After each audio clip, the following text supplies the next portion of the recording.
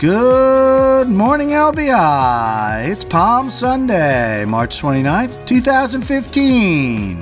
It's a glorious start to the day here at the beach. Currently 27 degrees with a northwest wind. We're going to have a partly sunny day, high of 43, low of 36 tonight. Sunrise 647, sunset 718. And we've got 71% of a waxing gibbous moon tonight. There's still a little swell sweeping onto the sandbar this morning. We got a low tide 10:27 a.m., high tide 4:34 p.m., and the ocean water temperature's in the lower 40s. So come on down to the beach.